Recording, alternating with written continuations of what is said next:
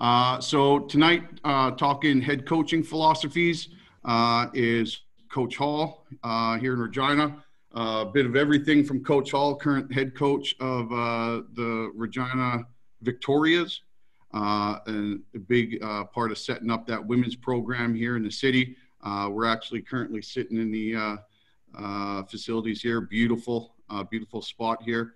Um, and He's going to take us through some of his philosophies for head coaching. He's been a part of basically every program in the province.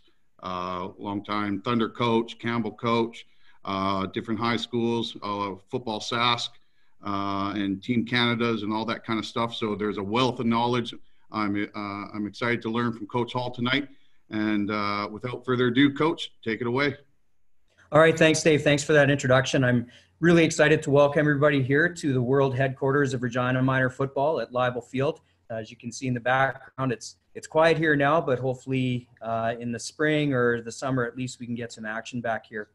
Um, it's really exciting to have this opportunity to use technology to bring everybody together in such an unusual time. And uh, and I'm glad that uh, Coach McCauley and, and Coach Jackson have taken this initiative uh, to help us to have something positive to focus on and, and to keep learning together and getting better together. And uh, so it was great last night for me to be able to watch Coach Gray do his presentation uh, to kind of see what it looked like and stuff like that. And, and he did a good job talking about the blitzing and, and techniques and systems that he was going on. So, so hopefully I can carry that on and bring you some, some helpful information tonight. Um, I, I'm really hoping that this presentation has something for everybody, whether you're uh, here in Regina, we call it uh, Mighty Mites, our, our eight, nine years old, whether you're a Mighty Mites coach right up to a university coach. And it's not just for head coaches. I, I think there's a lot of stuff that uh, assistant coaches would be able to use as well. And, and these are a lot of things that I've learned over the years, um, especially in the last half of my career, the last, well, last 15 or 20 years, I guess. Uh, I've learned a lot of things about how to be a better coach from hanging around with some smart people. And, um, and, and I've used them not just as a head coach, but also some of the programs where I've been an assistant coach as well. Uh, so my topic is uh, it's on the head coach, but um, we're going to be covering a lot of things, a lot of kind of philosophical uh, background and foundations, like uh, Coach Jackson referred to, uh, talking about how to build culture.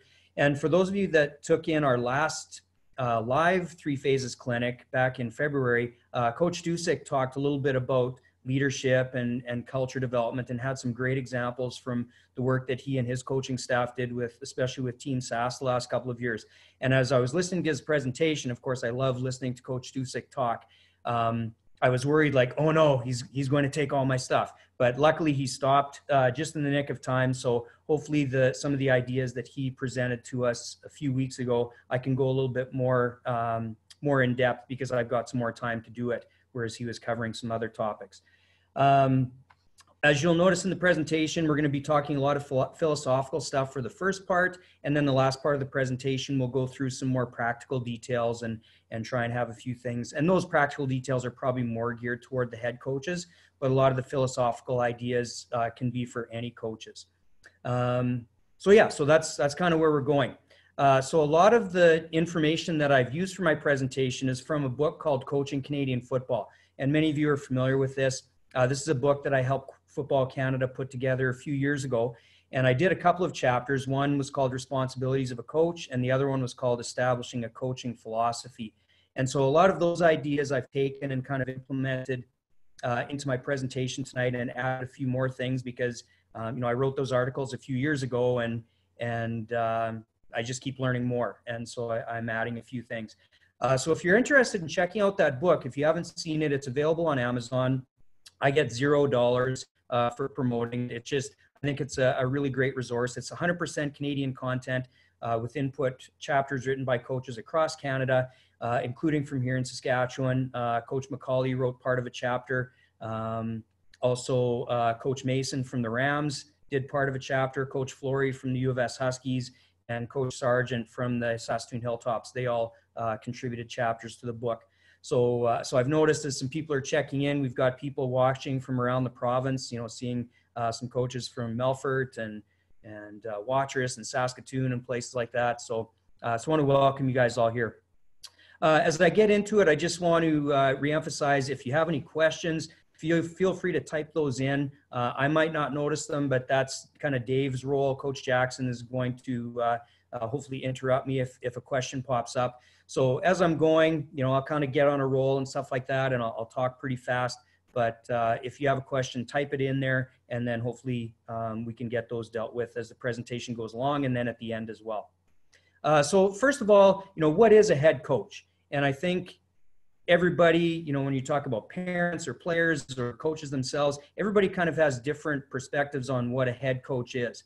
And um, some of these pictures kind of represent different ideas. Of course, in the top left, you've got that kind of stereotypical head coach, you know, yelling at a at a player, you know, somebody really confident, maybe overconfident, uh, take charge, knows their stuff, um, getting in people's faces.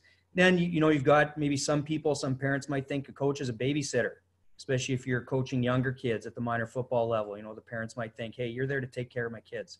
Uh, the next picture there, um, you know, the guy that's uh, working with some kids. Some people view coaches as teachers, and that's something I think is really true. Certainly, teaching is a big part of what we do.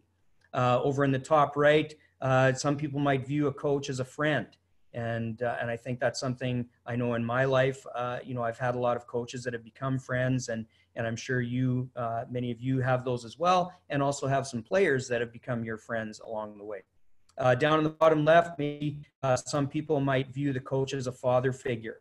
Um, you know, most football coaches are male. Of course, uh, I hope we've got some female coaches tuning in here. Uh, I know we've got some great female coaches in Saskatchewan, and uh, and just having that adult mentor or role model is, is something that people expect. And then I think you know, kind of summing it all up is the picture of Superman, because when you think of everything that, especially a head coach has to do, uh, when you sit back and look at it, it's pretty overwhelming and it almost takes a superhero to do it. So, you know, what is a head coach? I think the answer is all of the above, all of those things at one time or another.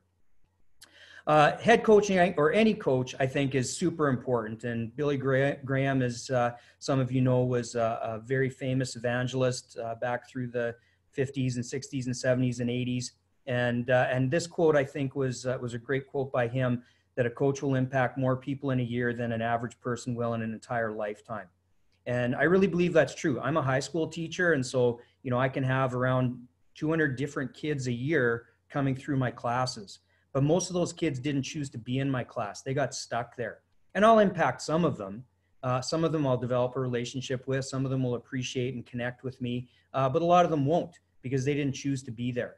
Uh, because I'm an English teacher and kids have to take English. But when they sign up for my, to play football, they know they're coming to put themselves under the direction of a coach. And uh, so that's why I think we have a really special opportunity uh, to make an impact. And that impact, as Lou Holtz would say, is all about significance. Coaching is the best thing you can do because you have a chance to be significant.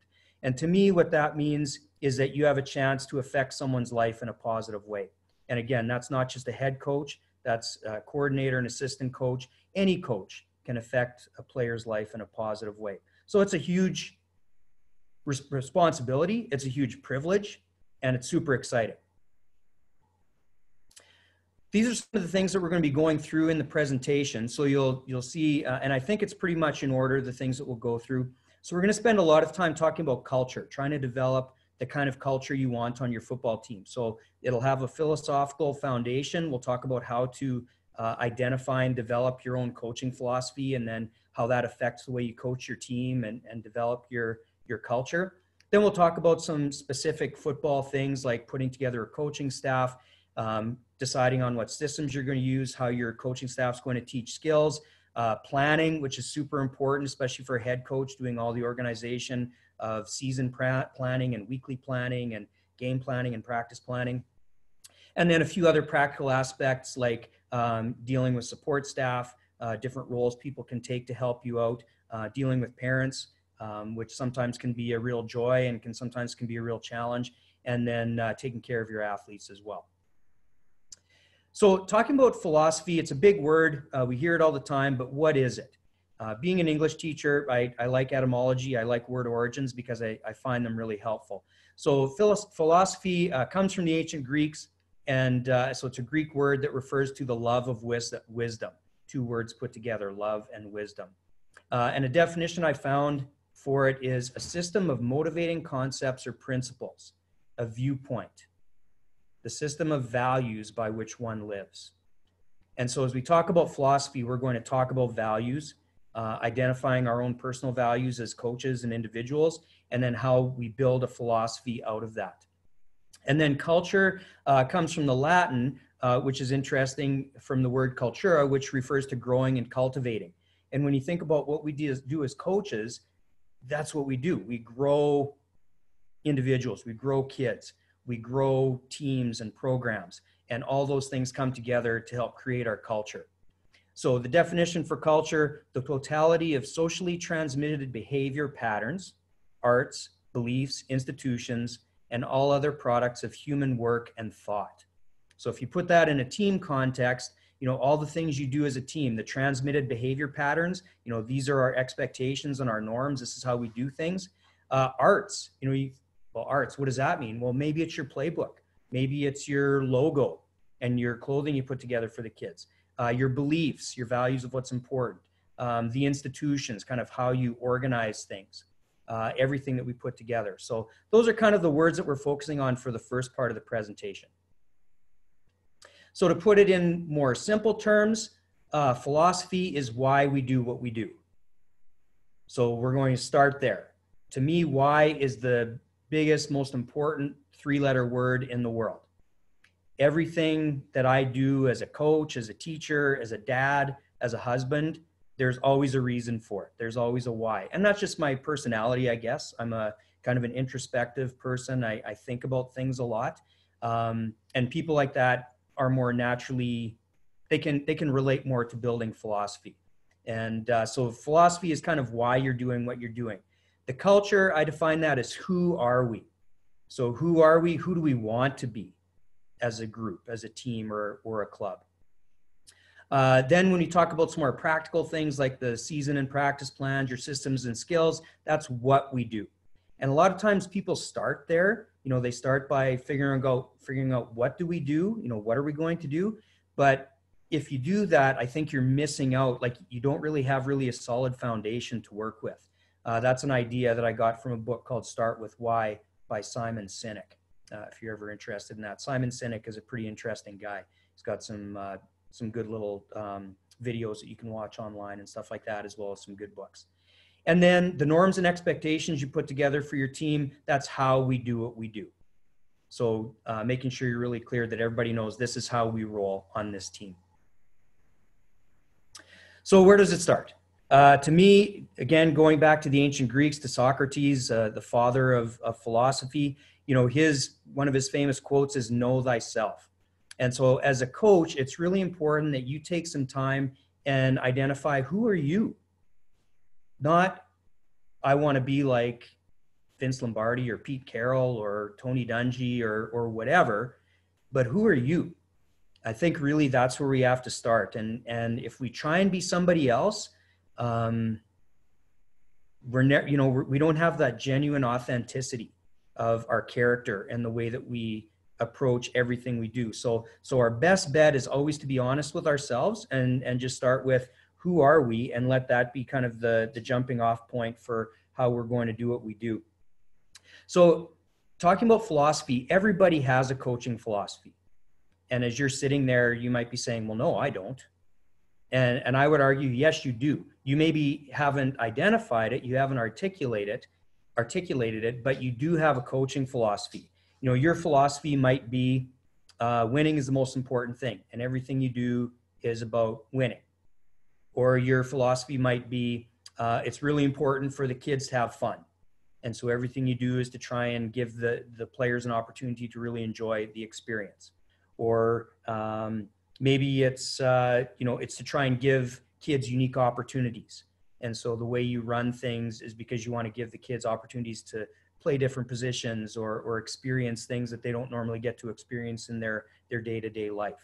So we all have a philosophy but if we don't take time to identify it and kind of put it to words, then we don't really have control of it. And it just kind of, it comes out as a reaction rather than as a planned thought. So as Socrates said, if we know ourselves, that's a, a great place to start. Um, and if we don't, then we're, we're going to be really influenced by outside forces. And I, I mean, it's important to get influenced by outside forces, but we don't want to be like a, a tree blowing in the wind, that whatever way the wind blows, that's the way we're going. Um, you know, so there might be, you know, sometimes you're, if you don't identify your philosophy, all of a sudden you'll be in a game and you'll do something that you don't really think is right, but you'll do it because you think it'll help you to win. Or maybe because your assistants are pressuring you to do something, or parents are pressuring you to do something.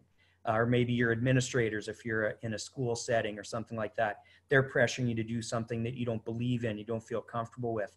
That's not a good place to be. So you need to really identify what is your philosophy. Where who are you? So some great questions to start with come from a book called Inside Out Coaching by Joe Ehrmann. Awesome book. I would strongly recommend it if you want to uh, uh, really get some insightful perspectives into what Joe calls being a transformational coach.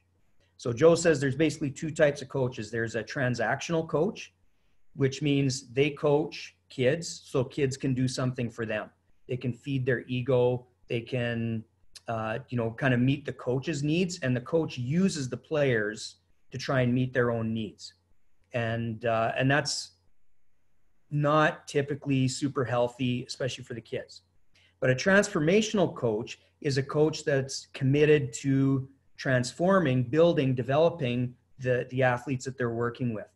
And uh, so that's really what he tries to push. And so the questions that he starts with in order to be a transformational coach is to ask yourself these questions honestly. And by the way, don't worry about writing down notes or anything. If any of you want this presentation, uh, my email will be on the last slide and I can send it to you and, and uh, you can have a little bit more time to go through these things. But take some time to answer these questions honestly for yourself. Why do I coach? Like, what's my motive? What's honestly my motivation? What's in it for me? Or what am I trying to get out of it? Or what, what am I trying to put into it? Uh, why do I coach the way I do? Is it because of it's the way I was coached and I'm just coaching the way that somebody coached me 20, 30 years ago? Uh, am I doing it because I see somebody coaching on TV and I think, okay, well, that's how they do it. I guess I should do it like them. Um, you know, why do you coach the way you do?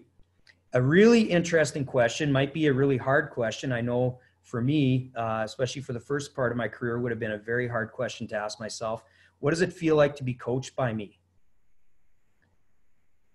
Sometimes that can be a hard one to think about. You kind of think of the way we treat our athletes sometimes and how would those kids feel being talked to the way that we talk to them or giving them the looks or the, the attitude that we give them? Um, so that's a tough question, but it's an important one. And then another really important one how do I define and measure success? So, what's most important to you in you're coaching? What, at the end of the season, would what would you consider a successful season? Is it just about winning? If it is, then that means not many of us are very successful because in every league there's only one team that gets to finish the season with a win. Everybody else finishes the season with a loss. So does that mean everybody else is a failure? You know, hopefully there's more about it than winning. Uh, so again, I really encourage you to be genuine when you're thinking about your philosophy and, and thinking about the way you want to do things. Don't compromise who you are. You're an individual. Um, you know, we all have things we can change and improve about ourselves.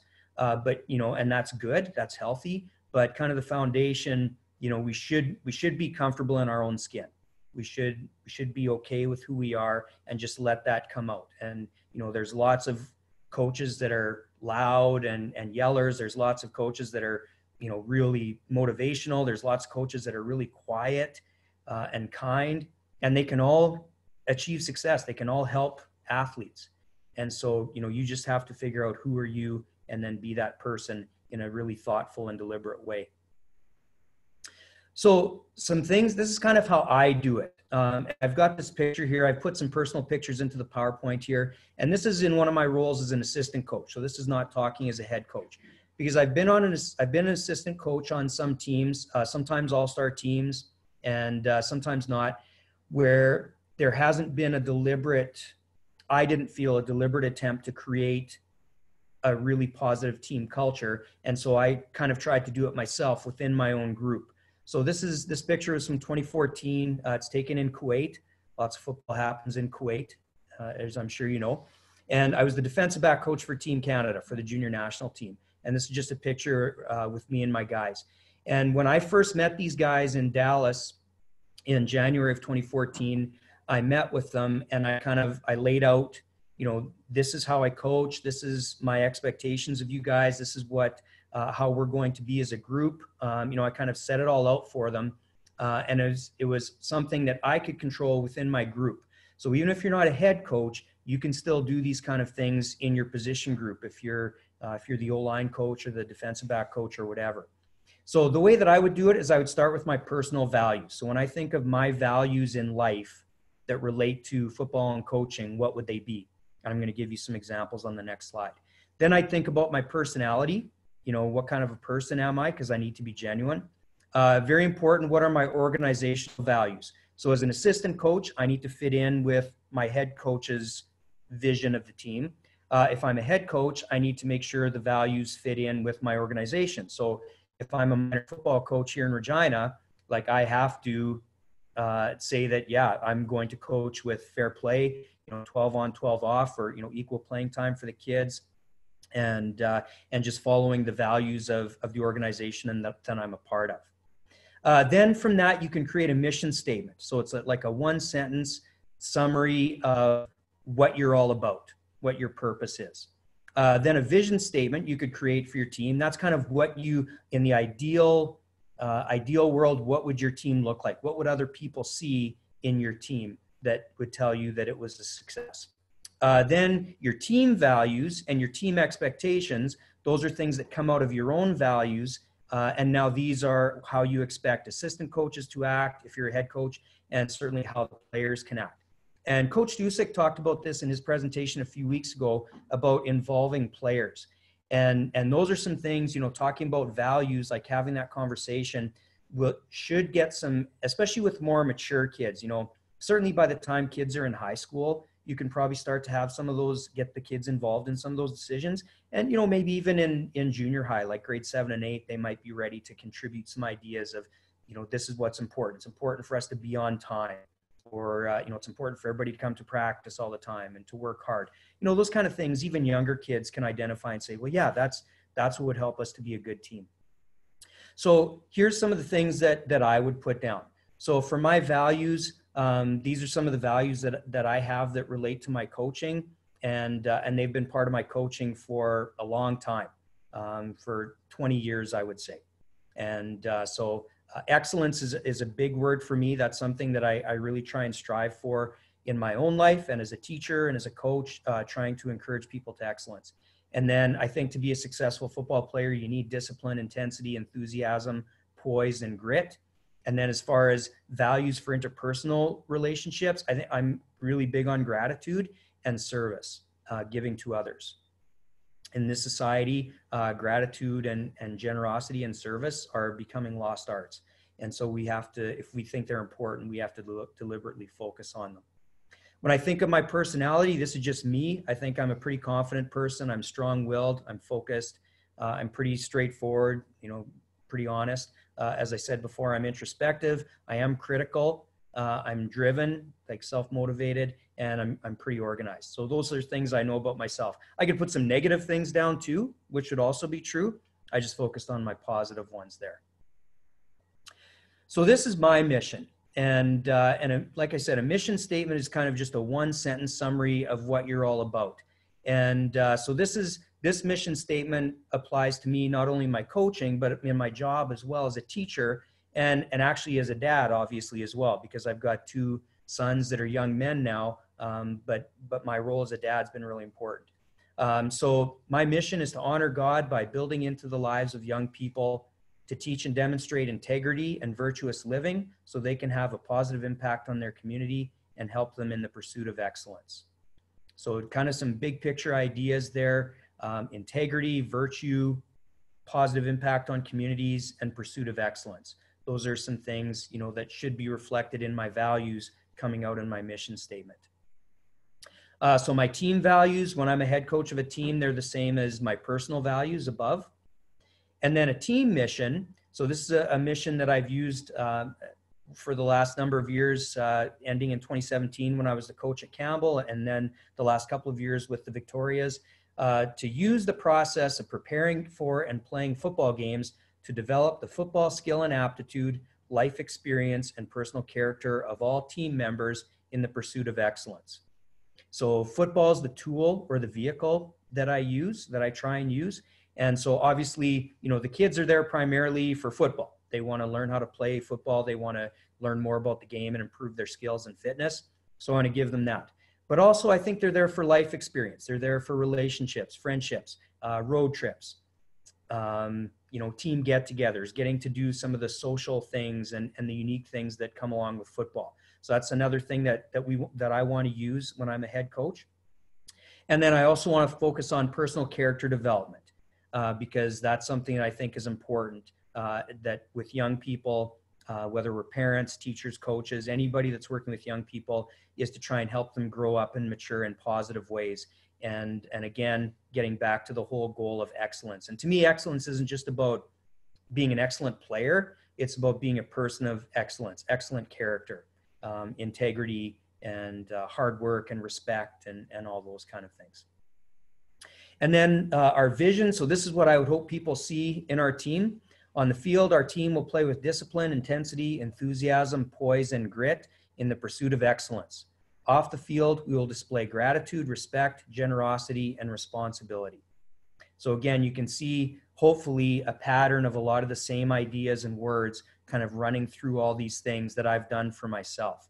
And so, this is something I would encourage you to do is take some time to you know think about putting some of these things down on paper and and just keep tweaking them like you know you don't have to get it perfect the first time.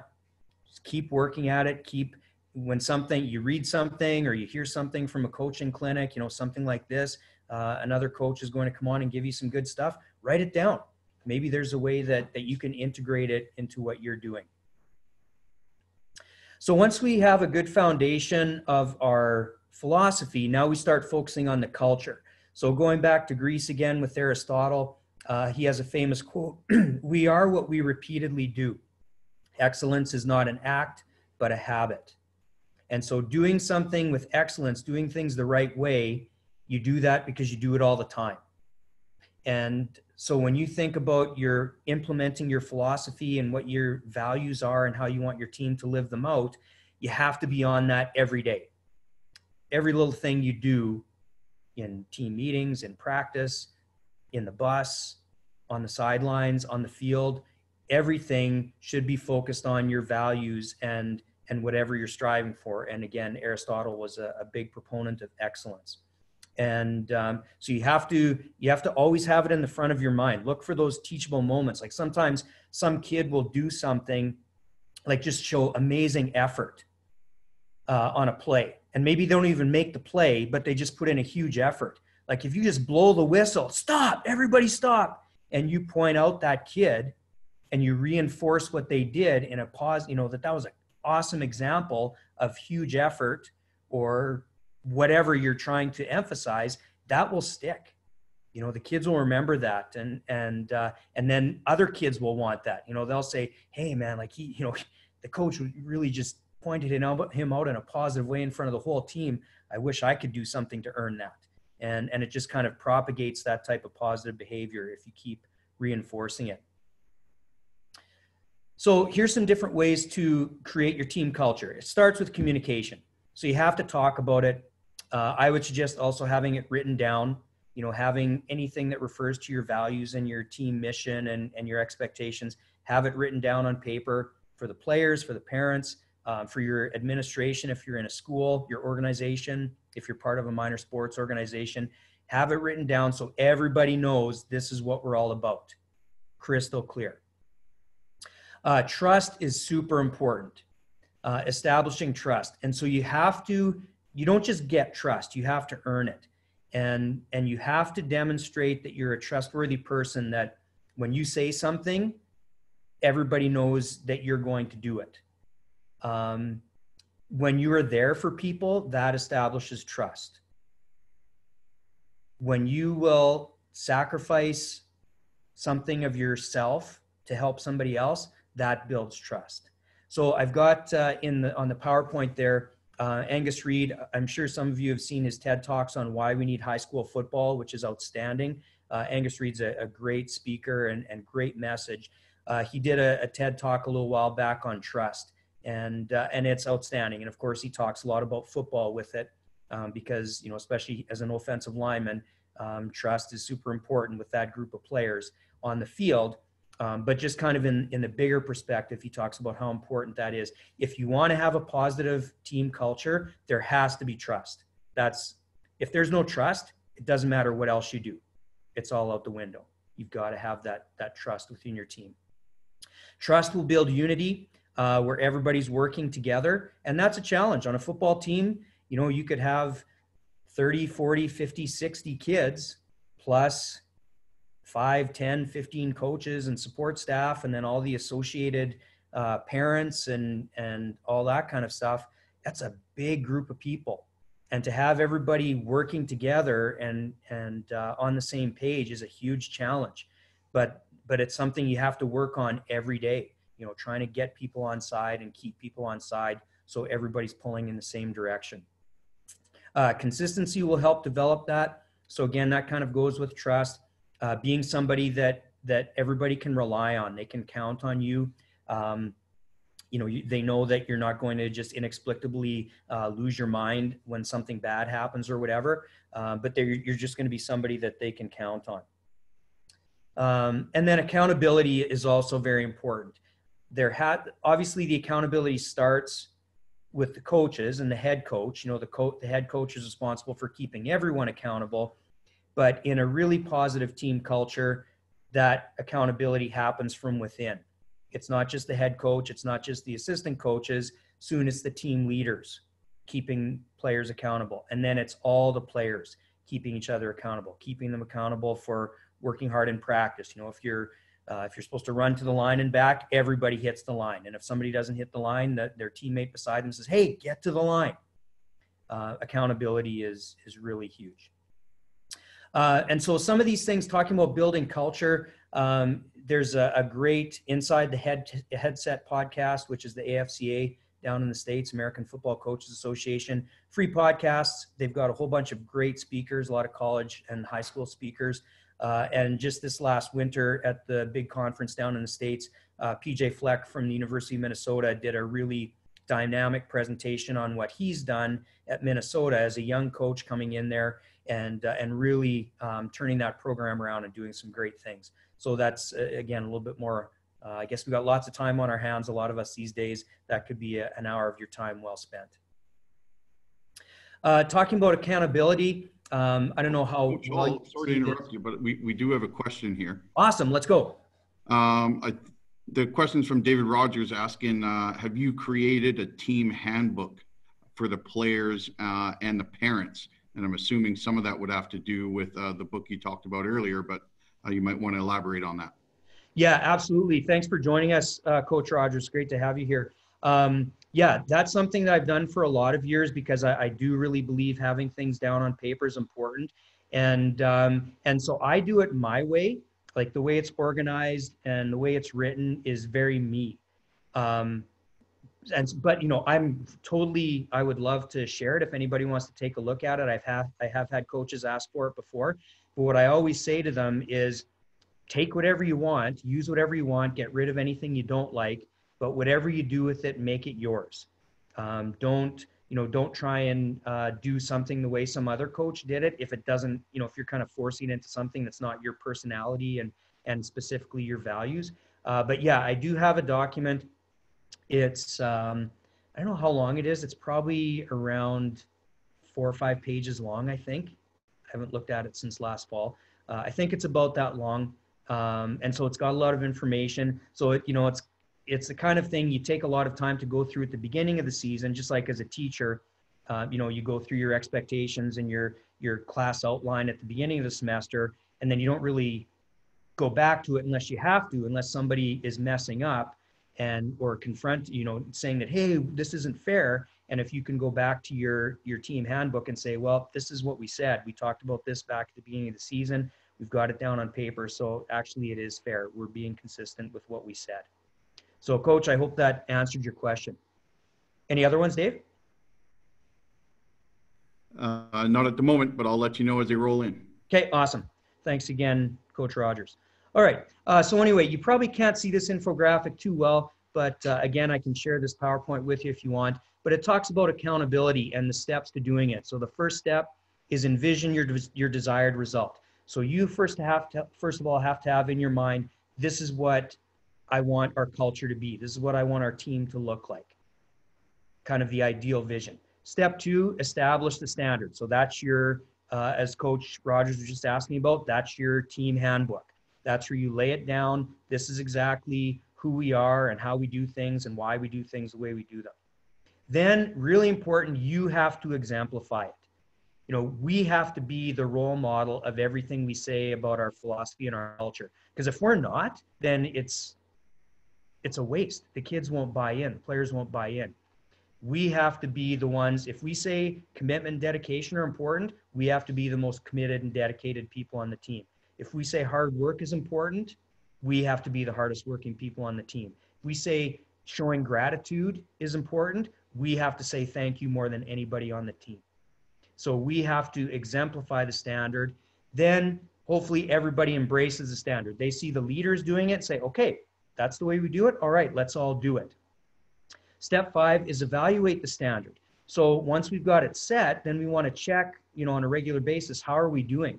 And a football season, that's hard uh, because every week is kind of like a, a mini novel all by itself. It's it's a different opponent, it's different preparation, and, and we just have this this intense focus on getting ready for the next game. But sometimes maybe you need a, a natural break point, whether it's your bye week or whether it's the midway point in your season or whatever, just to kind of step back a little bit, kind of look at the big picture and say, how are we doing as far as living up to our standard as coaches, as players, everybody? Uh, then endorse the standard. So what that means is when you see, I mentioned this a few minutes ago, when you see people achieving the standard you've set, recognize it. Pats on the back, positive feedback, um, praise, helmet stickers, whatever, you know, whatever you use to to reward and appreciate the people who are doing what needs to be done to create the culture on your team, give it to them. And then of course you have to enforce the standard. That's the the big thing of accountability. Um, sometimes people will not meet the standard, and that needs to be dealt with. Uh, sometimes maybe it'll be dealt with by the players themselves. Sometimes an assistant coach can just deal with it. Sometimes the head coach might have to be the one to deal with it but uh, that's kind of obviously that accountability uh, once all those things have been done. So anyway, that that's a really cool infographic that I got off of Twitter. I think um, that you can take a look at sometime when you have a little bit more time. I love this quote by Nick Saban. Uh, my wife gave this to me as a gift. She uh, she took a picture of me uh, with the provincial championship trophy, and then got this quote put on the picture, and uh, and I just love it um, because I, I, it, it really I think is what I, I worked hard to do uh, with the time that I was at Campbell. It says first of all you've got to have a vision of what kind of program do I want to have. Then you've got to have a plan to implement it. Then you've got to set the example that you want, develop the principles and values that are important, and get people to buy into it. That's it. That's a great quote. Uh, another really smart guy that I learned a lot from uh, from reading his book called "The Score Takes Care of Himself," uh, takes care of itself, is Bill Walsh. Um, you know, he's another. You know, I said I was an introspective person, like Bill Walsh, super introspective, very philosophical man, and uh, so his thing was standard of performance, and so he laid down these important steps to establishing your standard of, of performance and the culture that you want to have. So identify the specific actions and attitudes relevant to your team's performance. So what specifically does everybody have to do and what attitude do they have to have in order to achieve the performance you want? Again, clear communication, expectations of high effort and execution of your standard of performance. So you got to be crystal clear. This is what we want. This is what we need. This is how you have to do it. Let everyone know that you expect them to have the highest level of expertise in their area of responsibility. So I really like that. I think that's for head coaches, that's awesome for assistant coaches, like to put that challenge and that faith in them to take charge of something.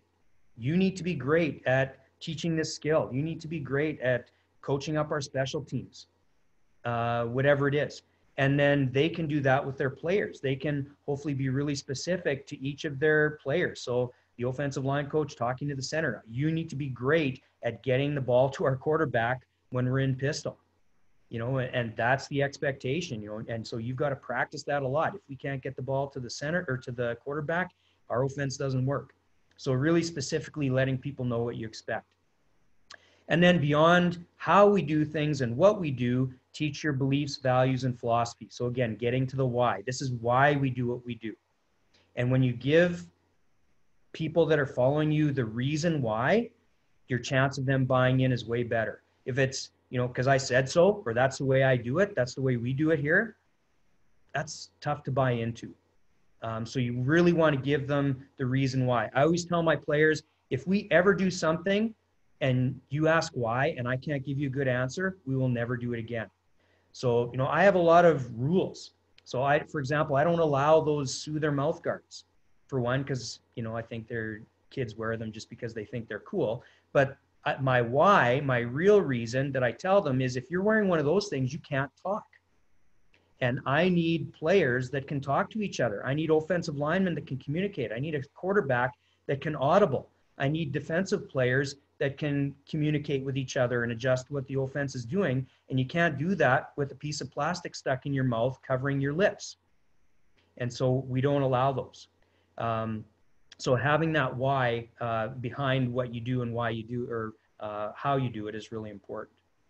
Uh, teach connection and extension. So what Coach Walsh meant by that is, you know, try and think of what we're learning in football is not just about football.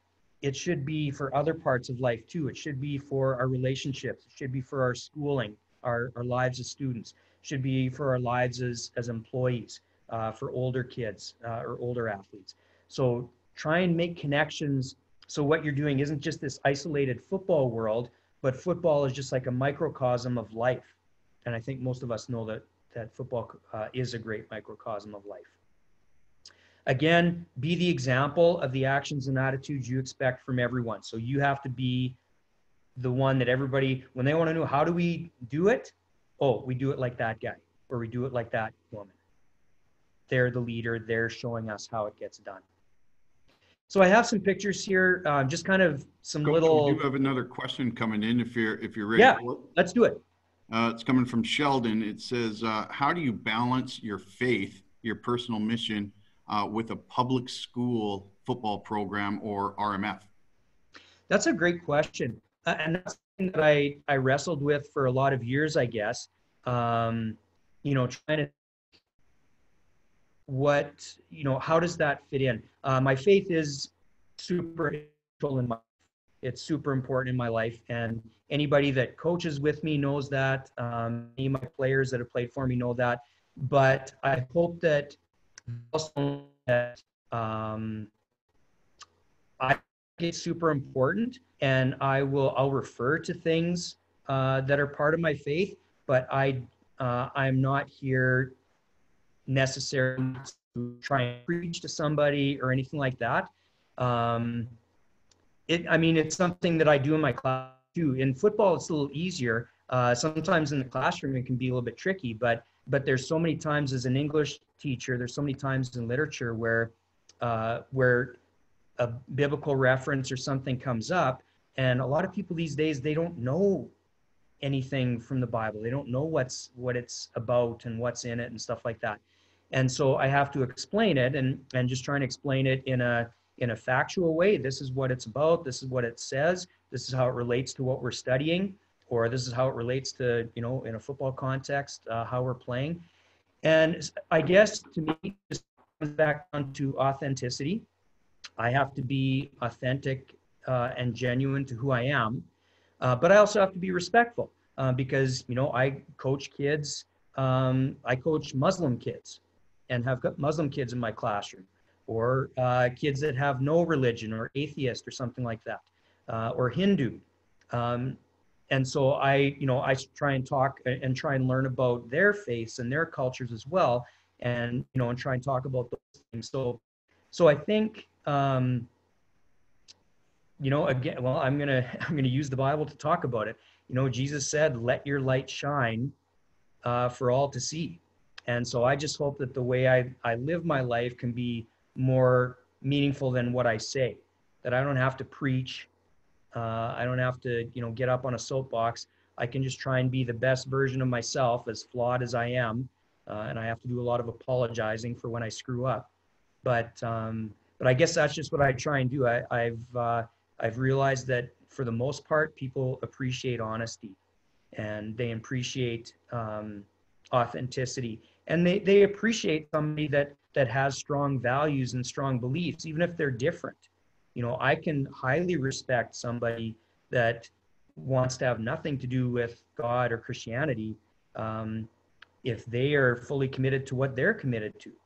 I totally respect that, and um, and you know, so I I hope that answers the question. Um, but that's yeah, that's kind of how I try and handle it, I guess.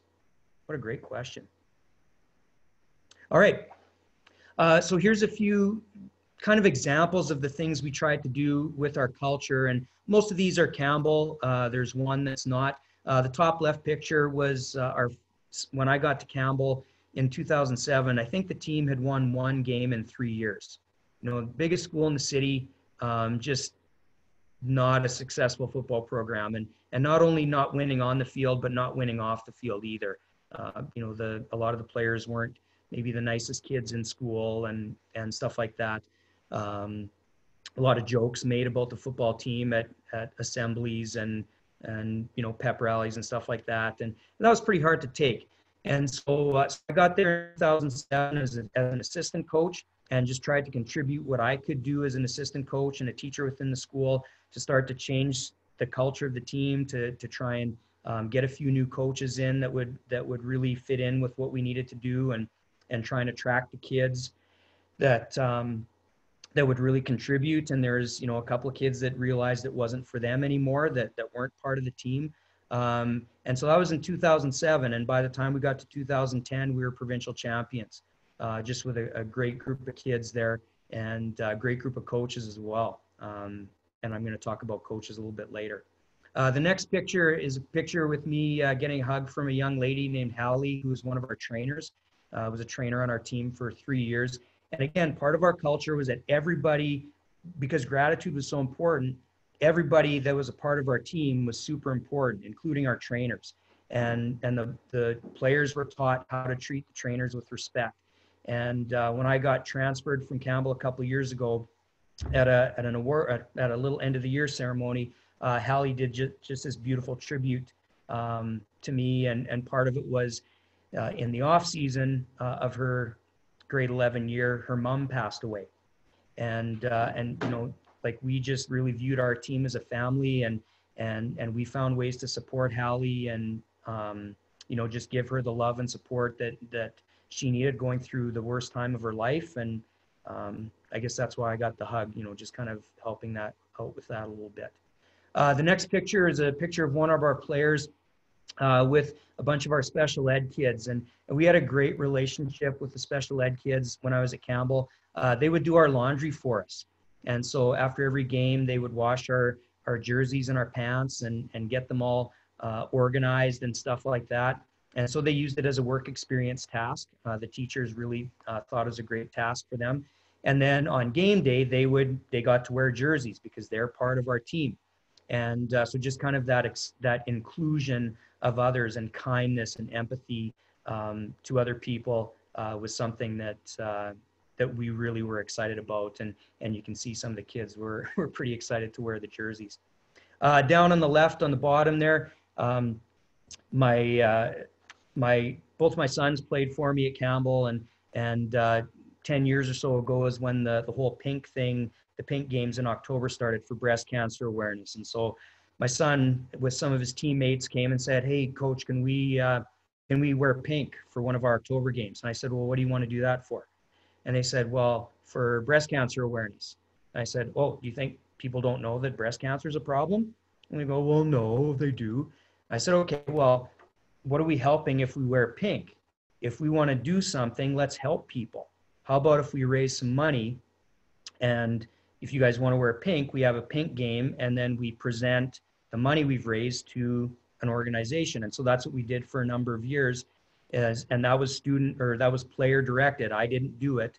Uh, they directed it, whether it was a contribution from all the players or whether we did a fundraiser like uh, working a, a, concession for a volleyball tournament or something like that. We raised the money and then we'd have a, a little ceremony. So um, we gave money to the Canadian Cancer Society, to the Allan Blair, um, to the uh, one year, um, one of our players' aunt had just passed away in palliative care from cancer.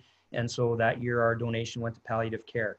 And uh, so in, you know, in the, whatever it was, the four or five years we did it, um, you know, we gave several thousand dollars to help people that were suffering from cancer. You know, trying to make a difference, make a contribution for others, uh, not getting anything for ourselves other than the boys got to wear, or the players got to wear pink that game.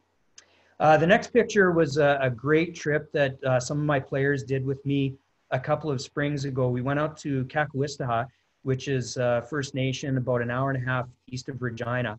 And we did a, an exchange weekend. So they had just started a six-a-side football team out there.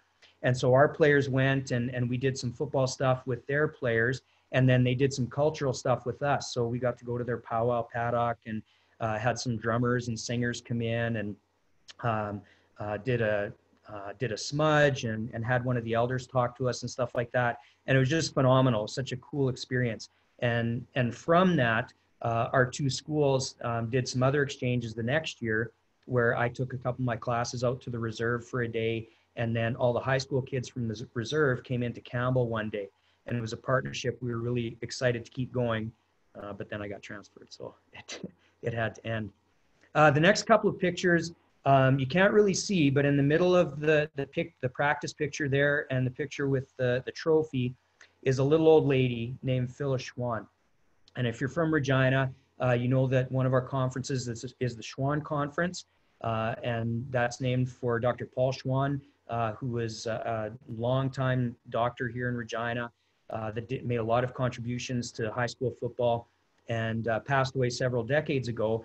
And his wife, Phyllis, uh, kind of took over as another person that that just gave so much to high school football. The most amazing lady in the world. Um, and so uh, in 2017, the last game of the season, uh, we were playing for first place and we won the game. We got first place, but for some reason the league didn't have Mrs. Schwann there, didn't tell her, and didn't have the trophy there, so we didn't get the trophy. And so uh, the league asked, when do you want the trophy? Do you want to get it before your playoff game? And I'm like, no, I don't want dis- uh, distractions before a playoff game. And I said, I would love it if Mrs. Schwann would come to our practice field. And so she and her daughter came, they brought the trophy, and I had prepared the players, just kind of told them a little bit about Mrs. Schwann and what an amazing woman she is. And, and I didn't tell the players to do this, but after this picture, uh, the big picture at the practice there, um, when we were about to resume resume practice and and the presentation was done, every single player on the team lined up to shake Mrs. Schwann's hand to show respect to her, and that was part of our culture. And then the picture beside it was when she presented the trophy to us uh, when we won the Schwann Conference Championship. And um, for those of you that, that don't know, she passed away in the fall of 2018. So we were the last team to receive the Schwann Conference trophy from her. And, and I made sure I was the last person to get my medal that, that night. And I wouldn't let anybody put it on my neck except Mrs. Schwann. And uh, so that was something, you know, just to show respect to her. Um, I, I'll be very proud for the rest of my life to know that I was the last one to get a medal from her. All right, enough of the tears. Uh, and then uh, the 20, the picture below that, the big team picture, that was uh, that was our 2017 team as well. After we won the city championship, we won the provincial championship the next weekend. That was a game against the Boldest. Those guys are just so tough, such a great team. And and the reason I put that picture is because in that game we were down 14 nothing five minutes into the game, and and yet our players never panicked. They never lost faith because we just had this culture on the team that circumstances didn't really bother us. Um, we just kept calm and we kept going. Uh, it was really an epic game. We ended up winning by two points, um, and and it was just because the players always believed, and a big part of that was uh, the the mindfulness and and the mental training we had done all throughout the season, or for the two seasons leading up to that, with Trina Markison, uh, who was a parent on our team and also came and did uh, mental training stuff with our kids, and and her impact was amazing. And then the bottom middle picture there is uh, just from this past summer with our Victorias. Um, we're getting, you know, tr- girls football is brand new. This is the second year with the team. And so we got our girls to come out to our Mighty Mites game one weekend and uh, just give out, you know, give giveaways up to the people in the stands, uh, you know, just to kind of let them know that girls football was a was a thing and and that uh, these girls are all just normal girls. You know, they're they're not a bunch of uh, uh, you know big powerhouses or anything like that. They're they're just uh, normal average girls, and that girls can play tackle football. And uh, and we went onto the field and we found some of the Mighty Mite girls, and we made sure we made a really big deal about them uh, to give them a little bit of attention. Some other team cultures that, that I'm really proud of. The, the, top two are Team Saskatchewan uh, in, 2000, in 2009, the two years I was head coach. The 2018 was my first year as head coach. And we had just an amazing group of guys. We, we built a great culture on that team with high expectations and great buy-in from the players. And uh, we went 2 and 0, and we were heading into the, the final of that tournament when we found out that um, there was a rule that we were not aware about eligibility we had eligible and uh, and we ended losing our wins. We didn't get to play for the championship. It was one of the most devastating things that I've been a part of in my life. Uh, I think the the U of R Rams can from uh, 2018 can probably relate uh, also to how we felt just with the the way their program was devastated with that situation. Um, but those those players, uh, I just couldn't have been more proud of uh, of a group of guys and the coaches as well um, to be able to stay strong through that. And then the great thing, uh, picture beside it, the 20, uh, 2009 team was Saskatchewan's first ever uh, Football Canada Cup championship team. And again, same type of culture. Uh, and we didn't have the talent of the other provinces. Um, that was when it used to be an under 19 tournament. So most of our players were uh, high school grads. And uh, for a couple years, we weren't allowed to use players that were going to the Rams. And so, you know, you're taking 10, 12 of the best players in the province and saying, no, you can't have them. And yet we went to the, the Canada Cup and, and we won that year uh, just with a great group of coaches. The bottom right is the first ever Team Saskatchewan under 16 team. We started that program back in uh, 2012.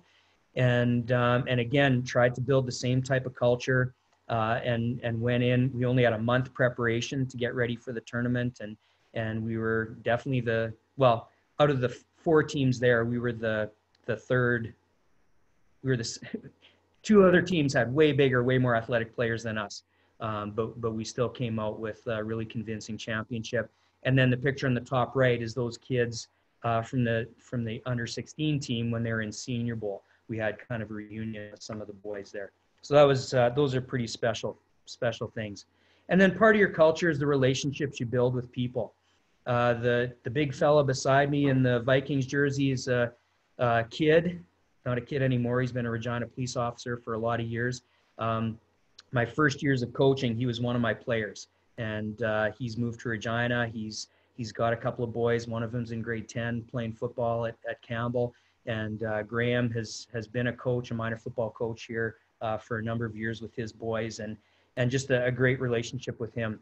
Then my defensive backs when I coached with the Thunder, um, Jimmy Stewart on the top left. He's a RMF coach. Clayton Murray right beside me to the right. Uh, he's an RMF coach. Down on the bottom right, Jordan Buchko is one of the top young orthopedic surgeons in Saskatchewan and just did two pretty major hip surgeries on my youngest son. Uh, the picture in the middle is me with one of my best friends. He's in the room with me right now, Coach Scott McCauley. Um, he's you know, sometimes when you you have those guys that you just love coaching with, and I've known Coach McCauley for 20 years now. We've been friends for a long time, and and had a lot of opportunities to coach together and do some pretty cool things together. Another special thing was uh, the top right picture was my youngest son. He he played just finished his fifth year up at the U of S with the Huskies, and to have two of my former players, Joel Lipinski on the left, he was on the first team Saskatchewan team, and Paul Waldo on the right uh, was with Thunder my last two years there. Uh, two guys that I coached, and then to have them coach my son was pretty special. Um, and then uh, the picture in the middle there, me with a couple of the the guys from Campbell from uh, they were in grade 11 my last year, and that picture was after grade 12. They they still came to visit and hang out, um, Ethan and, and Anthony. And then the bottom right picture is one of my players from the 2010 team, Zach Yannick. Uh, he's married, got a beautiful little girl, and runs a fitness club here in town that I, I just joined a month or so ago. And, uh, and he just wrote a poetry book as well. So, you know, just great to see that culture of excellence coming through in all these people in, in giving back and, and contributing and raising good families and stuff like that. And then uh, it was an awesome privilege to have my own kids uh, be part of buying into the culture um, and to see that pay off at the next level. Uh, the picture on the left is my oldest son that played with the Thunder for four years and, and his last year was uh, an All Canadian. And then the other two pictures uh, are my youngest son, Peyton. Uh, the middle one is at the East West Bowl. And, you know, he's there as a guy going into his fourth year at the Huskies, you know, part of a, a great program up there. And yet he wore his, his Campbell shirt as his undershirt for that game, which meant a lot to me. And then uh, the next picture is him at Blue Bombers training camp last spring with Coach Richie Hall, which was also pretty special because I've known Coach Richie for over 30 years, I think. Now we'll get into some football stuff. Any questions, Dave? Uh, yes, we do have a question here. Uh, okay. pull it pull it back up. Uh, it's from uh, Coach Jerry Friesen. He's he's asking, do you have a leadership group of players that can be your voice and you can develop? Yes, that's a great question. Thanks, Coach Friesen. Um, that's something that we did for a number of years uh, and my last years at Campbell, where we would usually try and do it. You know, um, part of it was our choice. Like sometimes I would shoulder tap the kids that I wanted to be a part of it and then players that wanted to be a part of it had the opportunity to be a part of the leadership group if they were you know taking part in the off-season training and and doing all the things that that we expected them to do. And um, and that was uh, something that coach Dusick and i uh, did together. And, and coach Dusick is a an expert on leadership. And so uh, so we did kind of some purposeful um, training with those guys you know, to try and uh, teach them about leadership. And, and, you know, one of the first lessons of leadership is it's all about service. And so we'd often start with that. And, uh, and then also to give the guys opportunities to lead. So giving them responsibilities to organize things, you know, if we're running, running a, a concession for a fundraiser or something, giving them opportunities to do that, um, to, to organize that, uh, asking their input on uh, team clothing that we're getting for the next year um, you know, talking about issues that are going on in the team, getting their feedback on, uh, you know, the attitude and, and morale of the team or uh, how we're doing practices these days or whatever. So, so yeah, having that, that opportunity to hear from the kids um, and, you know, you need the kids that will talk. Like I, I had some awesome kids and coach Friesen, you know, one of them, Burke Noble, uh, you know, Burke is just the, the highest quality kid, just never says anything. Um, so it was great to have him on the, the leadership committee. Um, but he would in the in the group meetings he would never say anything. So with a guy like Burke, I had to go in and have a, a little conversation with him just to have a one-on-one, and then he was a lot more open to talk. So yeah, so so doing something like that is something we definitely do. Um, are we good, Dave?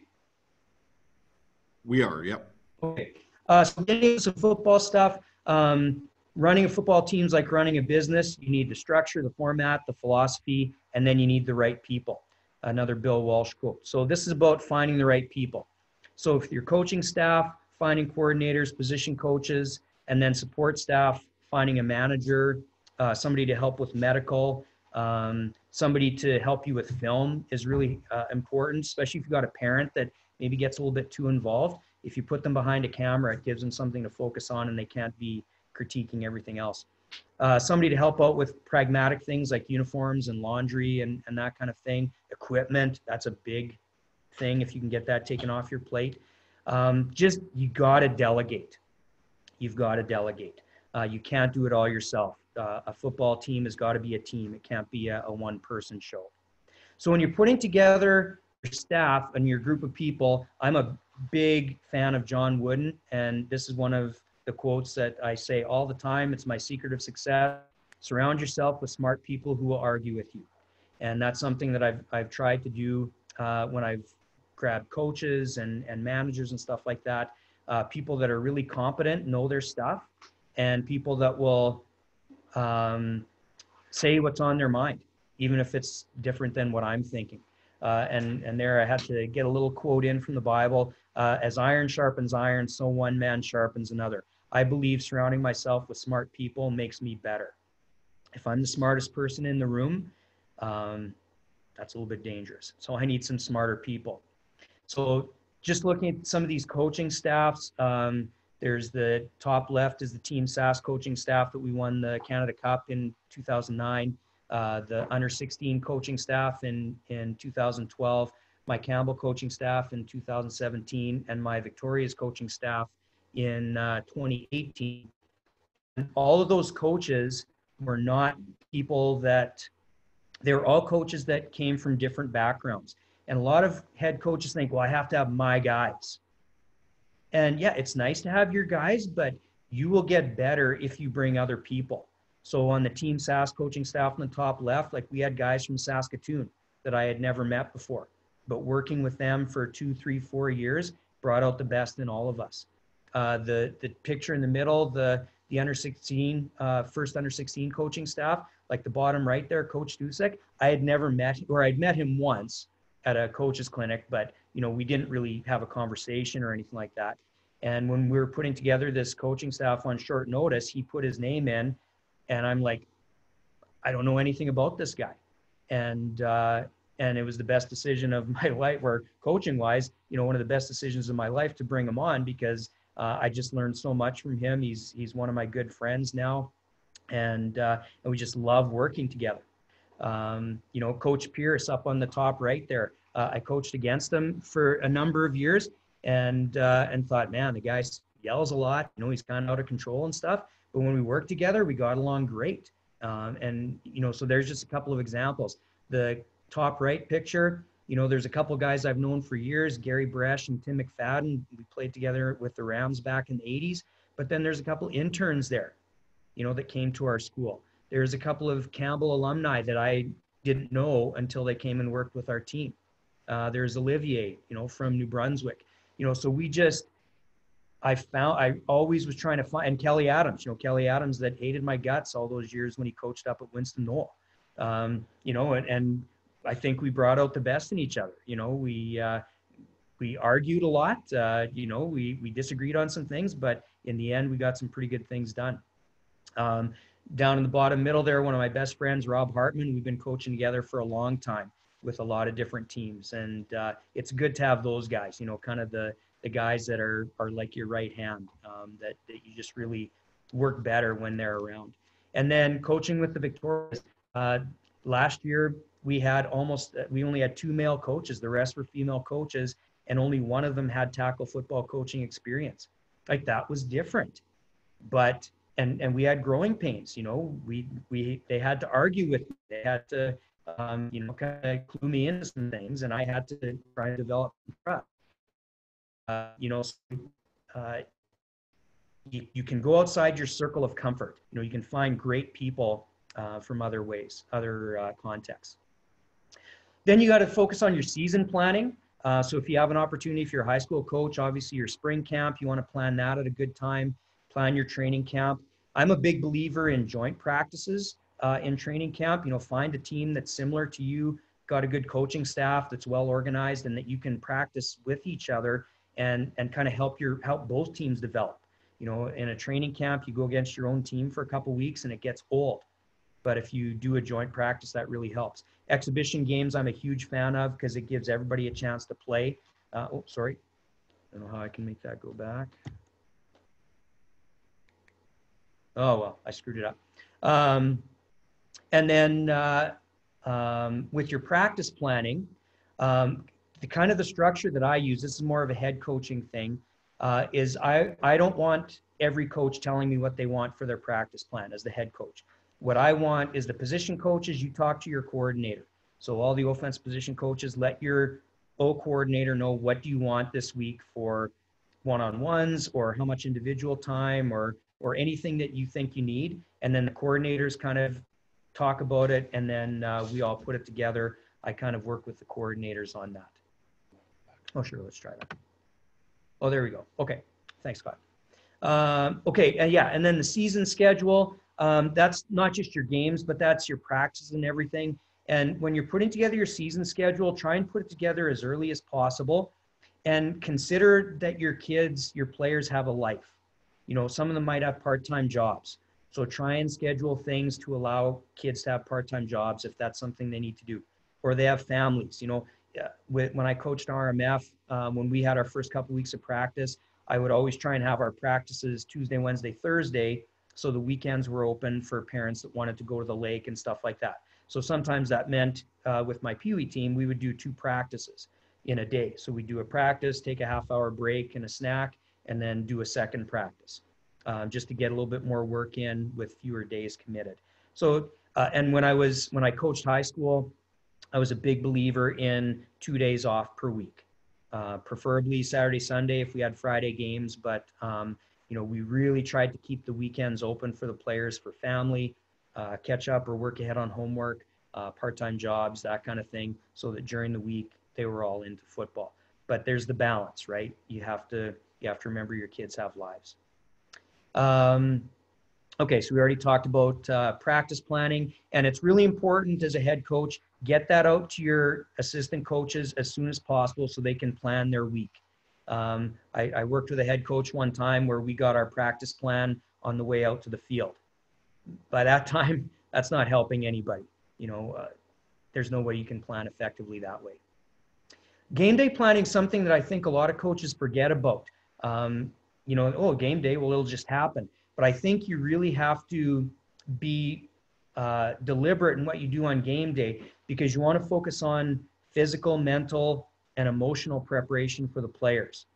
So you have to get them in the most ideal state you can, physically, mentally, and emotionally, to get ready to have a great game. So uh, like I put there, control what you can control, make allowance for what you can't control. So when I was coaching high school here in, in Regina, one thing I couldn't control was what time the bus would show up to pick us up to take us to the field. And so we just, we planned our schedule. So we would start our warm up at the school and we'd get done whatever we could get done. And then whenever the bus showed up, it showed up. And then we just pause our warm up. We'd get on the bus. We'd budget for about 15 minutes to get to the field, and then we get to the field and we just continue wherever we left off. And so we took control of what we, what we could control to make sure that we had the warm up and the preparation that we wanted. So plan your schedule, take into account mental, mental, physical, and emotional prep.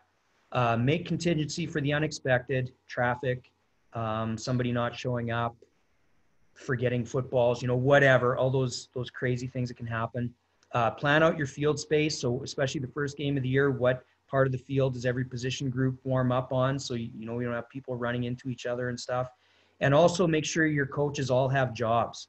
No coach should be on the sideline that doesn't have a specific job. They're managing players, they're watching what's going on in the field, they're taking care of equipment or injuries, whatever. Everybody has a job. They can't just kind of be a guy or, or a woman on the sideline. Uh, with your systems, this is kind of the sexy stuff. You know, this is what a lot of these uh, coaching clinics are about. And, and Coach Gray uh, did one last night with both some systems and skills here. Um, so whatever, whatever you're doing with that, uh, it should be based on your athletes and the knowledge of your coaches. So whatever systems you're using, make sure they're appropriate for your, your players and make sure your coaches really understand them and can teach them well.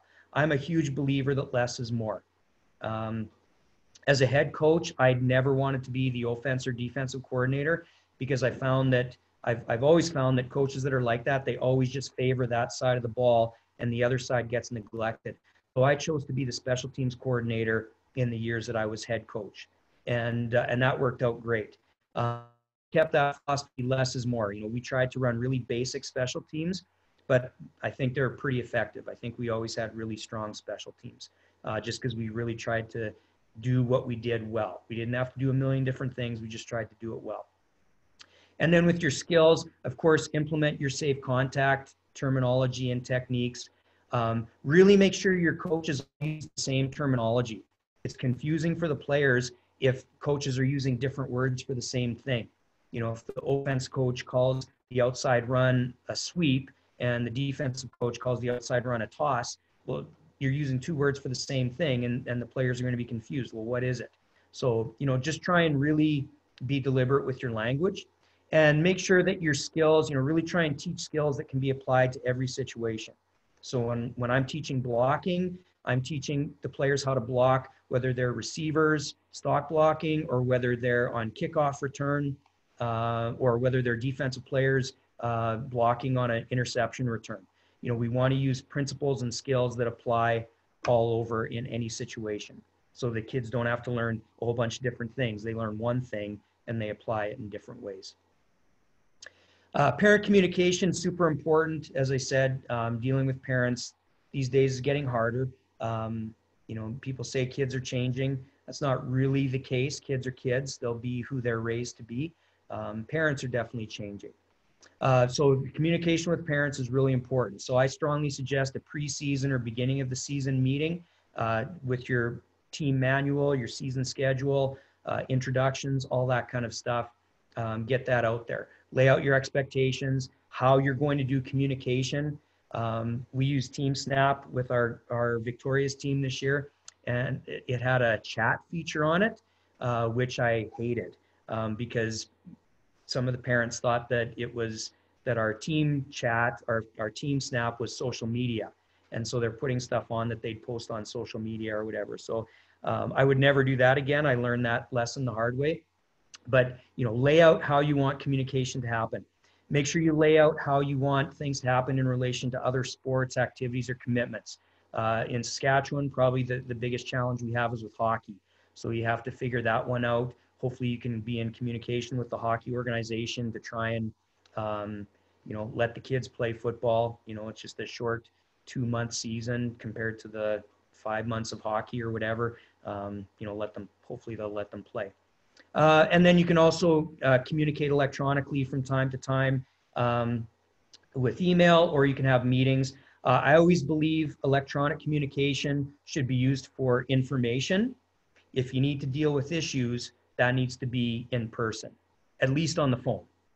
But don't deal with issues with emails or posts or whatever, because it just turns into this big snowball mess and, uh, and nobody wins. So, um, so if you have issues or problems, deal with them with a phone call or a meeting or a face-to-face of some kind.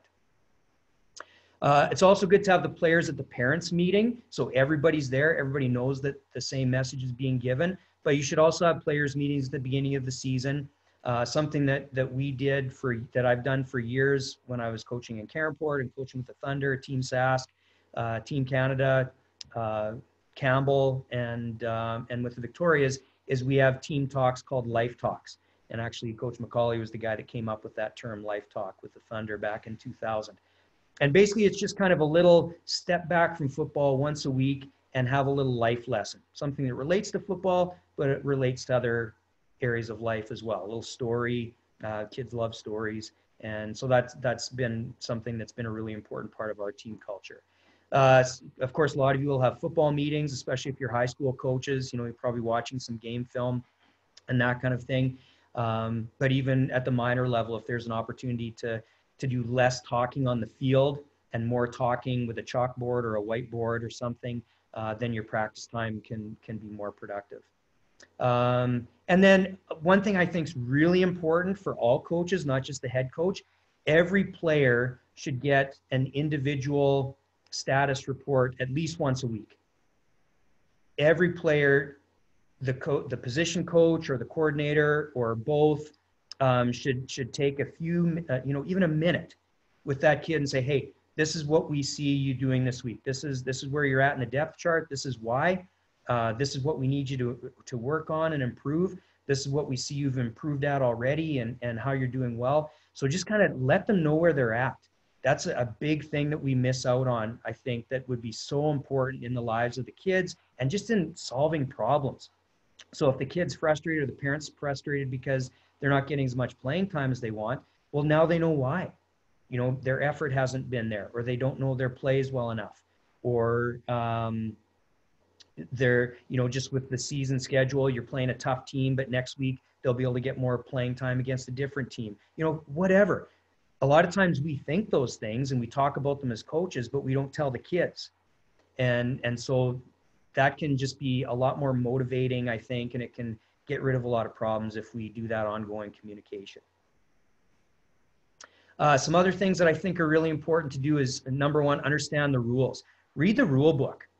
Don't get your rules from Madden or from watching Monday Night Football and listening Booger, uh, whatever his name is.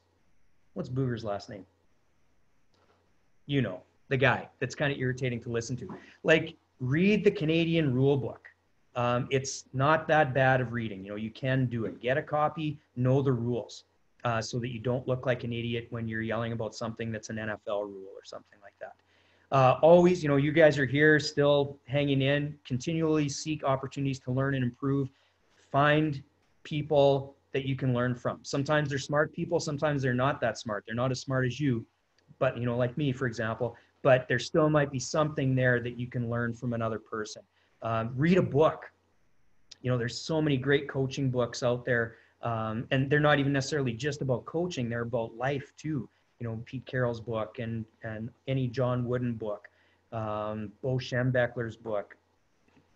You name the coach, like they've got great stuff in writing. Uh, focus on recruitment and retention. Know, I think a lot of, especially at the upper levels, you know, talking about junior university, there's a lot of focus on recruitment, but sometimes the retention isn't there. And so, why is retention not happening? Or it could be on a high school team or a minor football team too. Why are kids not continuing to play? Why are they quitting? Um, you know, my son just finished his his fifth year at the at the U of S, and I think he was one of five players, either five or six, that were five year grads. And in his recruiting class, there was probably 30 so what happened to the other 25 guys? How come they didn't last the five years to finish their career? You know, those are important questions. Uh, why are kids not playing when they're in grade 12? Why are kids not playing when they move into Bantam or Pee Wee or whatever? Um, you know, find those things out and then see is there anything you can do to try and keep the kids. Uh, I think it's also really helpful to facilitate off-season conditioning and development opportunities. Um, so whether that's something you provide, I'm, I was a big believer of that at Campbell. We had our own, we had a, developed an outstanding fitness center and a really good off-season program. We felt we could do it ourselves, and it was free, and it would build team unity and team uh, confidence to be working out together through the winter. Uh, some people might not have that, or they might not have the time. You know, maybe you're a football coach and then you're coaching basketball in the winter. You don't have time to do three workouts a week with your with your players you know, then you might need to get an outside organization, you know, uh, Ignite up in Saskatoon, and and um, there's lots of gyms here in Regina that do that kind of thing. Kind of the bottom line as a coach, especially the head coach, your job is to make everyone around you successful. Whatever your version of success is, you know, uh, you should have coaches leaving you for bigger and better things. And it's hard and it sucks to lose good people but that shows that you're doing a great job if you've got players that are moving on or coaches that are moving on to uh, to higher levels of coaching. It's a great thing. Last bit of advice I would give you, uh, a lesson I had to learn the hard way, is take care of the home team. Um, they are your most important team, your family. And uh, I've got a picture there with my two sons, Marcus and Peyton, and my beautiful wife, Jody who I could not do anything that I do without her support uh, and and her kicking my butt sometimes and and uh, giving me a, a perspective. Um, but another German quote here I think really says it well. We talked about significance as a coach. The true path to significance comes as a result of stability and success. Success is building value for you. Significance is creating value in and for others, but significance is unsustainable without stability. So if your personal life is a mess, your home life is a mess, what can you possibly give to your other coaches and to the players that you're working with. So take care of the home team. Take care of you. Build yourself, build into the most important relationships, and then you'll be able to build into other people and serve them. If you uh, if you'd like to get this presentation um, just on the you know just the slideshow with I'll take the pictures out because they'll be too big to email. You can email me there. That's my work email. Uh, it'll be good for another three months and then I retire. Woo! 30 years. Uh, my cell number's there. Uh, I love to talk football. These days, uh, there's a little more time than we're used to, but that's awesome. And then my Twitter handle's on there. I don't twiddle, tweet a lot of interesting stuff, but I follow a lot of interesting people and I retweet some some really good stuff. So uh, feel free to check any any of those out. So thank you so much for hanging with me. I know I, I'm very long-winded. I went longer than uh, than my hour. Um, but if there's any questions uh, from anybody, I'd love to take a little bit of time if you're still patient and hanging in out there. Yeah, Coach Hall, we do have a question here from Sheldon. He's asking if you could give your uh, top three culture or leadership book recommendations. What a great question.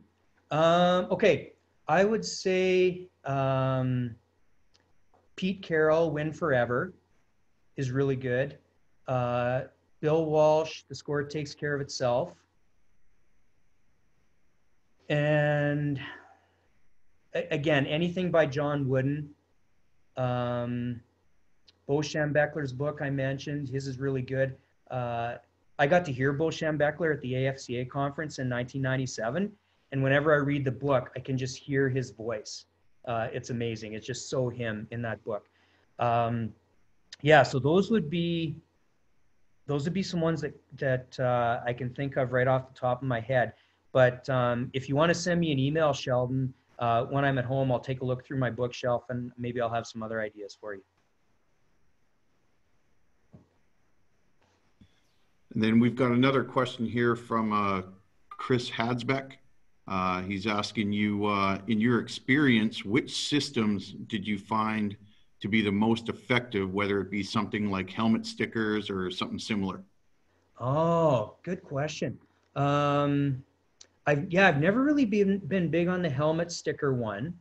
Um, you know, sometimes sometimes you do a player of the game. You know, we did that kind of thing back in my my days at Caronport. We had this old leather helmet, so we gave out the leather helmet award, and you know, for the player of the game um, you know, and, and then the player would get to keep it in their stall for the week.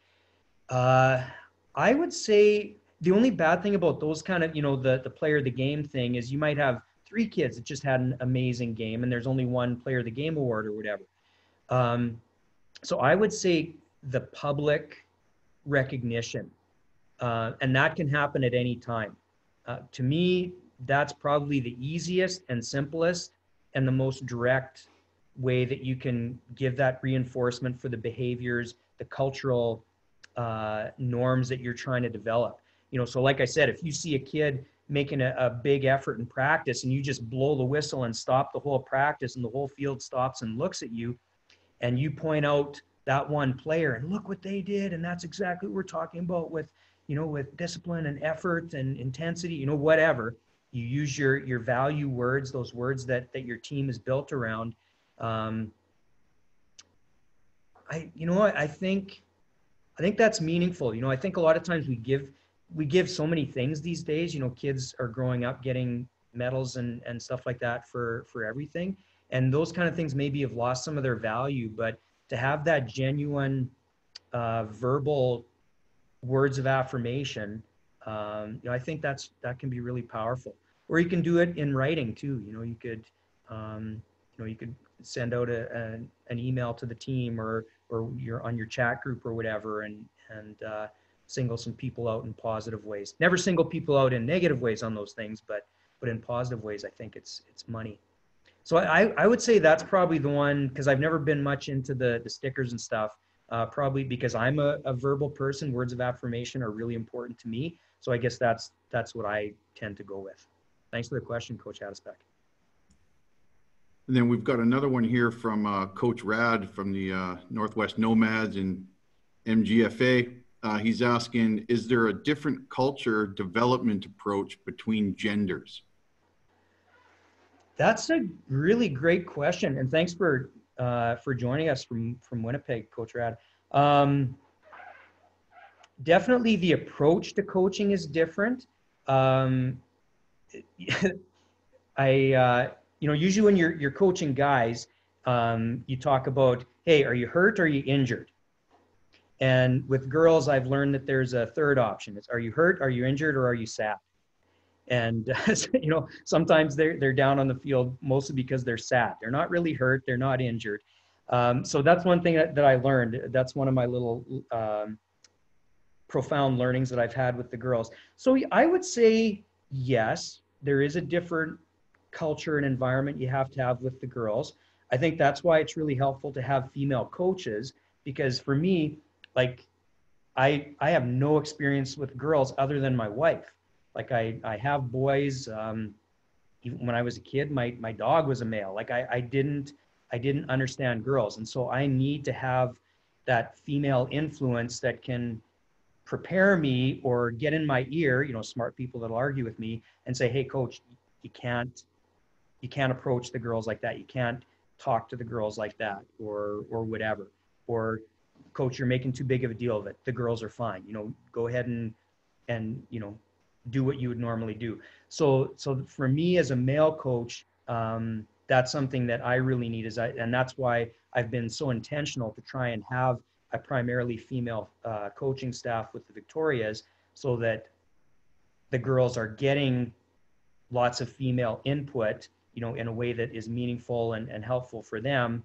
And um, I'm almost more of the kind of the bus driver, you know, like this is where we're going, this is how we're going to get there, this is what we're doing. Now you coaches go do it with the players, you know, so they they do most of the the one-on-one type of stuff. So and that's a great question because hopefully that continues to be a bigger and bigger uh, issue for us moving forward because obviously the female demographic is the the biggest potential growth area for tackle football in Canada. Uh, if we can get that other 50% of our population playing tackle football, our, our game's going to be really healthy. That and the indigenous population and the uh, new Canadian population, those are, to me, those are the areas we need to really try and attract, get them involved. So thanks a lot for the question, Coach. I hope that helped. And uh, that's it for the questions so far. If there are some more, uh, we're getting ready to finish up here, but but submit them. Uh, Billing, just thanks you, Coach Hall. You, you know, always great uh, listening to family life and football. Uh, so I appreciate you. And uh, I know for myself, it, it was enjoyable listening to you share your why, right? That's the, the big part of the first half of the presentation. You really got an insight into uh, Coach Hall's why and why he coaches and, and what he's looking for and, and and that sort of stuff. So that's good. And that that leads me to remind coaches that you know Coach Hall himself is a great role model for young coaches, for all coaches. And it's important, especially for the young coaches, that you seek out and look for a role model, model yourself after, pick their brain, learn from, all that kind of stuff. And that's what uh, Coach Hall is. And along with that, for veteran coaches, to allow yourself to be a role model. Um, so, so that's good. And we, we enjoy having you part of this uh, three phases coaching here. Uh, and and w- what great value you, you provided tonight.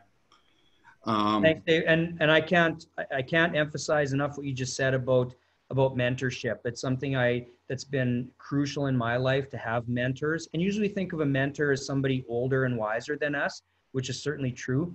But as I've become the older guy, um, the value that I have from my peer mentors, you know, someone like Jeff Stusek, that you know, I just feel that we we love to share ideas. We love to build into each other. Uh, Coach McCauley, you know, we will often, you know, just get in front of a whiteboard. He wants to run some ideas off me, or or uh, I want to talk to him about, uh, uh, you know, keeping the players engaged in in workouts or whatever. You know, so like we we love to share ideas, and uh, you never you never arrive. I don't believe you ever arrive. You can you can always learn more. You can always grow more, and so that's why you have to uh, to seek out mentors that are older than you, or it could be peer mentors um, anybody that, that you can possibly learn from is worth taking some time with. Absolutely, coach. That's that's great. That's a great point right there. Um, and that kind of brings us uh, to the end tonight. Uh, so again, a big thanks to Coach Hall here. Um, and if there's ever anything that coaches might want to see on that three phases coaching uh, YouTube page, this will be up there for you tomorrow. So feel free to share it with your staff.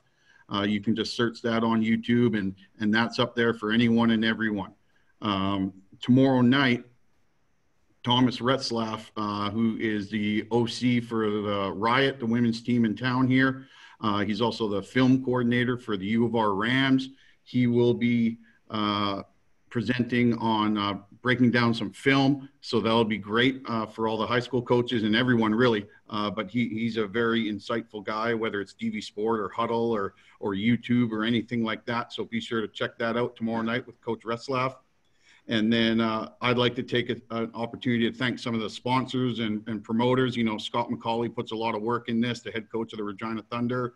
Uh, Brett Strong has organized some sponsorship from the Kinsmen. Football Sask through Mike Thomas is always a big part of this.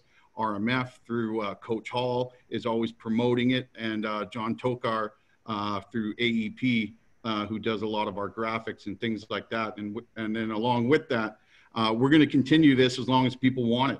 Uh, so the ask that I have of the coaches is who do you want to hear speak and what topics do you, uh, you want to hear? Along with, if you are a coach that wants to share some of your ideas, get in touch with me through uh, Twitter or email, and uh, we can make that happen. Because uh, there's always a lot of insight from a lot of different people. So we're happy to share that with everybody. And I can see this is starting to spread nationwide a little bit. Um, so anyone who's new to this, uh, feel free to contact me and we can get you on here uh, to share some of your ideas. So that'll be good. But uh, tomorrow night we'll be back with Thomas Retzlaff. Uh, next week we'll have uh, three sessions as well. Dan Durazio, offensive line coach with the UBC Thunderbirds, is already scheduled to be on. Uh, he'll be on Tuesday. Remember, that's a different time. That's starting at 3 p.m. Saskatchewan time. but most of the other ones will be at, at night at, at the 7 p.m. start as usual. But uh, with that said, Coach Hall, thanks again. And uh, good night to all the other coaches. And hopefully we'll uh, see you here again tomorrow.